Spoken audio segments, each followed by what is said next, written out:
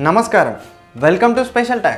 తొమ్మిది వందల సంవత్సరాల చరిత్ర కలిగిన జాతరగా ఆసియాలోనే అతిపెద్దదిగా తెలంగాణ కుంభమేళాను తలపించే విధంగా ఆహ్లాదకరమైన వాతావరణంలో కొండా కోణల్లో పచ్చని అడవుల మధ్య జరిగే అతిపెద్ద గిరిజన జాతరగా ప్రసిద్ధి చెందిన జాతరే మేడారం సమ్మక్క సారలమ్మ జాతర. మరి మేడారం ఎక్కడుంది? అసలు ఈ జాతర వైభవం ఏంటో చూడాలనుకుంటున్నారా? ఓసారి వెళ్ళొద్దాం పదండి. సమ్మక్క సారక్క జాతర అనేది వరంగల్ జిల్లా తాడ్వాయి మండలానికి చెందిన మేడారం గ్రామంలో జరిగే ఒక గిరిజన జాతర. ఇది ప్రపంచంలోనే అతిపెద్ద గిరిజన పండుగ. ఈ జాతర తెలంగాణ రాష్ట్ర పండుగగా గుర్తింపు పొందింది. భారతదేశంలో కుంభమేళా తరువాత అత్యధికులు హాజరయ్యే పండుగ ఇదే. వివిధ రాష్ట్రాల నుంచి పది కోట్ల మందికి పైగా హాజరవుతారని అంచనా. వరంగల్ జిల్లా కేంద్రం నుండి నూట పది కిలోమీటర్ల దూరంలో తాడ్వాయి మండలంలో ఉన్న మారుమూల అటవీ ప్రాంతమైన మేడారంలో దట్టమైన అడవులు కొండా కోణల మధ్య ఈ చారిత్రాత్మకమైన జాతర జరుగుతుంది.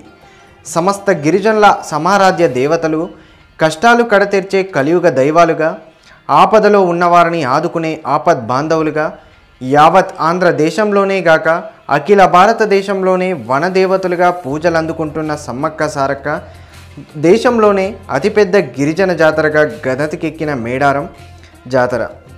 గిరిజన సాంప్రదాయ రీతుల్లో జరుగుతుంది.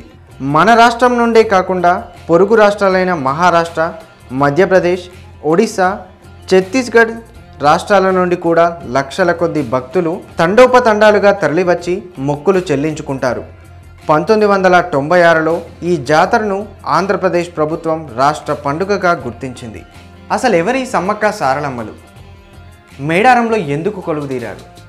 వీరిని వనదేవతలుగా పూజించడానికి గల కారణాలేంటో ఇప్పుడు తెలుసుకుందాం. పదమూడవ శతాబ్దంలో నేటి కరీంనగర్ జిల్లా జగిత్యాల ప్రాంతంలోని పొలవాసను పాలించే గిరిజన దొర మేడరాజు ఏకైక కుమార్తె సమ్మక్కను ఆయన మేనల్లుడైన మేడారం పాలకుడు పగిడిద్ద రాజుకిచ్చి వివాహం చేశారు. ఈ దంపతులకు సారలమ్మ నాగులమ్మ జంపన్న అనే ముగ్గురు సంతానం కలిగారు.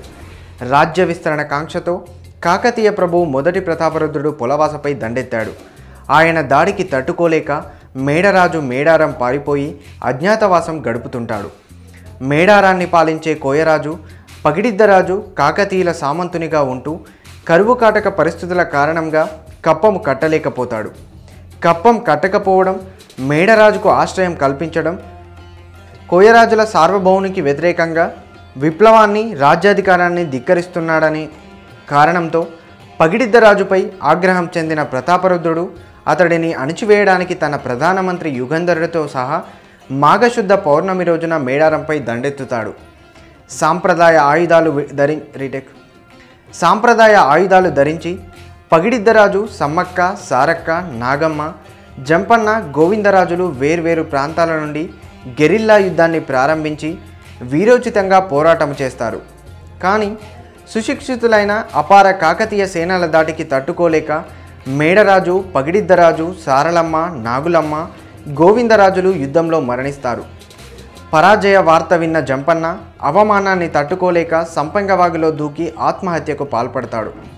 అప్పటి నుండి సంపెంగవాగు జంపన్నవాగుగా ప్రసిద్ధి చెందింది. ఇక సమ్మక్క యుద్ధభూమిలో కాకలు తీరిన కాకతీయుల సైన్యాన్ని ముప్పు తిప్పలు పెడుతుంది. వీరోచితంగా పోరాటం సాగించింది. గిరిజన మహిళ యుద్ధ నైపుణ్యానికి ప్రతాపరుద్రుడు ఆశ్చర్యచకితుడయ్యాడు. చివరికి శత్రువుల చేతిలో దెబ్బతిన్న సమ్మక్క రక్తపు దారాలతోనే యుద్ధభూమి నుంచి చిలకలగుట్ట వైపు వెళ్తూ మార్గమధ్యంలో అదృశ్యమైంది. సమ్మక్క నిష్క్రమించి చిలకగుట్ట వైపు వెళ్తూ మార్గమధ్యంలోనే అదృశ్యమైంది. సమ్మక్కను వెతుక్కుంటూ వెళ్ళిన అనుచరులకు ఆమె జాడ కనిపించలేదు. కానీ ఆ ప్రాంతంలో ఒక పుట్ట దగ్గర పసుపు కుంకుమలు గల భరణి లభించింది. దాన్ని సమ్మక్క భావించి అప్పటి నుంచి ప్రతి రెండేళ్ళకు ఒకసారి మాఘశుద్ధ పౌర్ణమి రోజున సమ్మక్క జాతరను అత్యంత భక్తి శ్రద్ధలతో జరుపుకుంటున్నారు. అసలు ఈ జాతర ఎలా జరుగుతుంది? ఎంత వైభవంగా జరుగుతుంది? అసలు ఈ జాతర రోజు వనదేవతలను ఏ విధంగా పూజిస్తారు? ఎలాంటి పూజలు చేస్తారు? అనే వాటి గురించి ఇప్పుడు తెలుసుకుందాం. జాతర మొదటి రోజున కన్నేపల్లి నుంచి సారలమ్మను గద్దెకు తీసుకువస్తారు. రెండవ రోజున చిలకల గుట్టలో భరణి రూపంలో ఉన్న సమ్మక్కను గద్దెపై ప్రతిష్ఠిస్తారు. దేవతలు గద్దెలపై ప్రతిష్ఠించే సమయంలో భక్తులు పూనకంతో ఊగిపోతారు. మూడవ రోజున అమ్మవారు ఇద్దరు గద్దెలపై కొలువు తీరుతారు. నాలుగవ రోజు సాయంత్రం ఆ వాహన పలికి దేవతలను ఇద్దరిని తిరిగి యుద్ధ స్థానానికి తరలిస్తారు.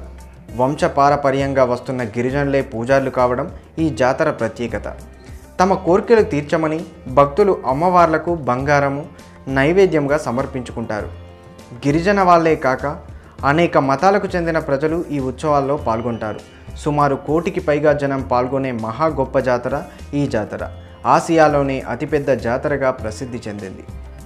మేడారంలో ప్రతి రెండేళ్ళకొకసారి జరిగే ఈ జాతర తెలంగాణ కుంభమేళాను తలపిస్తుంది.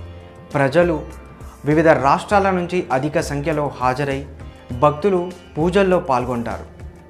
తెలంగాణలో జరిగే అతిపెద్ద విశిష్ట గిరిజన జాతర మేడారం సమ్మక్క సారలమ్మ జాతర. ఈ జాతర రెండేళ్ళకు ఒకసారి జరుగుతుంది. సుమారు తొమ్మిది వందల సంవత్సరాల చరిత్ర కలిగిన ఈ జాతరను పంతొమ్మిది వందల నలభైవ సంవత్సరం వరకు చిలకలగుట్టపై గిరిజనులు మాత్రమే జరుపుకునేవారు. కానీ పంతొమ్మిది వందల నలభై తర్వాత తెలంగాణ ప్రజలంతా కలిసి జరుపుకుంటున్నారు. ఏటేటా జనం పెరుగుతుండడంతో జాతరను కొండ కింద జరపడం ప్రారంభించారు. అమ్మవార్ల చిహ్నంగా గద్దెలు ఏర్పాటు చేయబడి ఉంటాయి. ఈ గద్దెలపైకి జాతర రోజు అమ్మవార్ల ప్రతిరూపాలుగా ఉన్న కుంకుమ బరణలను తీసుకువస్తారు. పూర్తిగా గిరిజన సాంప్రదాయంలో జరిగే ఈ జాతరకు తెలంగాణ నుండే కాకుండా వివిధ రాష్ట్రాల నుంచి సుమారు కోటికి పైగా భక్తజనం వచ్చి అమ్మవార్లను దర్శించుకుంటారు. ఇలాంటి ఇంత పెద్ద జాతర తెలంగాణలో జరగడం తెలంగాణకే గర్వకారణమని ఈ జాతర ఇంకా వైభవోపేతంగా ఇంకా ఘనంగా జరుగుతూ ఉండాలని కోరుకుందాం. ఇది ఇవాళ స్పెషల్ టైం. మరో స్పెషల్ టైంలో మళ్ళీ కలుద్దాం. Stay on TS twenty four news